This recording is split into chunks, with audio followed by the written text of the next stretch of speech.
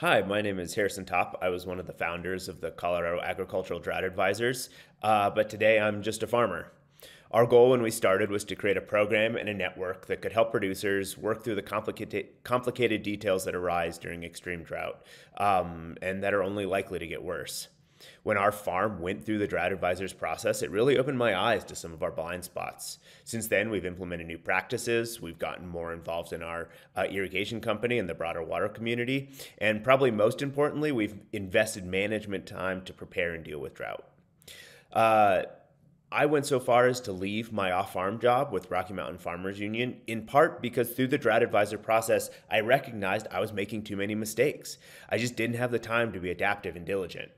If you have any questions whether you can improve your operation or management in the face of drought, then reach out to Drought Advisors. There are even financial incentives to do the work to be prepared. Uh, it's a great project and one that can have real impacts on our businesses and in the broader conversation about water. Um, I hope you'll take a look. Thanks.